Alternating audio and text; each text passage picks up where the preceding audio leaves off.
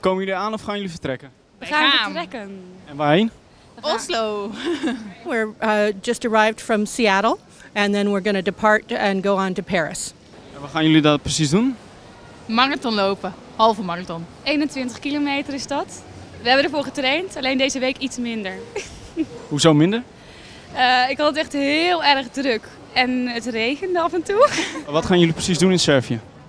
Voetballen. Eh, we hebben daar EK-kwalificaties voor onder 19 jaar en we spelen daar tegen Malta, Bosnië en Servië. Uh, well, so far we haven't really seen too much except just the airport, so we People can't. have been very friendly. Yeah, yeah, friendly. And we learned how to say danke.